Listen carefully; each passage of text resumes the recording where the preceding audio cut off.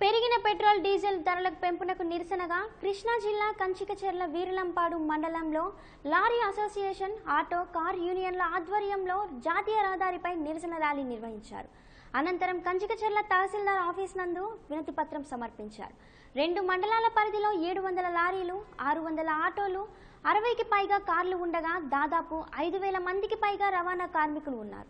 ప్రస్తుతం రోజు రోజుకు పెరిగిపోతున్న పెట్రోల్ డీజిల్ ధరలకు రవాణా వ్యవస్థ కుంటుపడిందని ముఖ్యంగా లారీలు తిప్పే పరిస్థితి కనిపించడం లేదని ఆందోళన వ్యక్తం చేస్తున్నారు.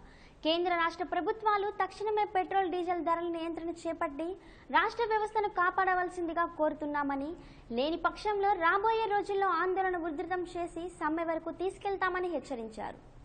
రిటైర్ అయిపోయాను. అయితే కంచిచర్ల లారీ ఓనర్స్ అసోసియేషన్ ప్రారంభించి ఏడు సంవత్సరాలు అయింది కేంద్ర రాష్ట్ర ప్రభుత్వాలు డీజిల్పై పెరిగిన ధరలకి నిరసనగా ఈరోజు మా సంఘం తీసుకున్న నిరసన ప్రదర్శనకు బాధ్యతగా మేము వహించి ఈ నిరసన ప్రదర్శన కార్యక్రమంలో పాల్గొన్నాము. కేంద్ర రాష్ట్ర ప్రభుత్వాలు అనూహ్యంగా డీజిల్ పెంచి రవాణా రంగాన్ని కుదేలు చేస్తుంది. ఇప్పటికే రవాణా రంగం నడ్డి విరిగి గత సంవత్సరం పద్నాలుగు సార్లు డీజిల్ పెట్రోల్పై ధరలు పెంచిన విషయంలోనే మేము ఆందోళన చేస్తాము అంటే మాట్లాడదాం రాష్ట్ర ప్రభుత్వం హామీ ఇచ్చింది. కానీ దాన్ని ఇంతవరకు అమలు చేయలేదు. ఇదే నెల ఐదు సార్లు పెట్రోల్ డీజిల్ ధరలు పెంచి డెబ్బై ఐదు రూపాయలకి డీజిల్ ఎనభై ఐదు రూపాయలకి పెట్రోల్ పెంచింది.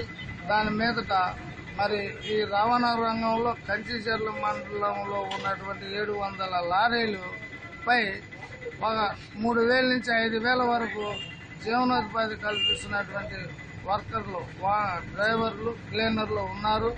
దాని మీద వాళ్ళ జీవన వృత్తి కూడా చాలా కష్టంగా ఉంది.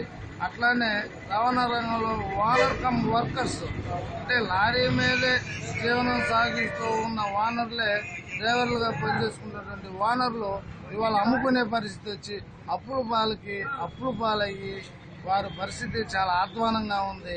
కాబట్టి రాష్ట్ర ప్రభుత్వం ట్యాక్స్ రిటర్న్ చేసుకుంటే అంటే ట్యాక్స్ తగ్గిస్తే గనక మాకు డీజిల్ పై ఎనిమిది రూపాయలు ఎసులుబాటు అవుతుంది.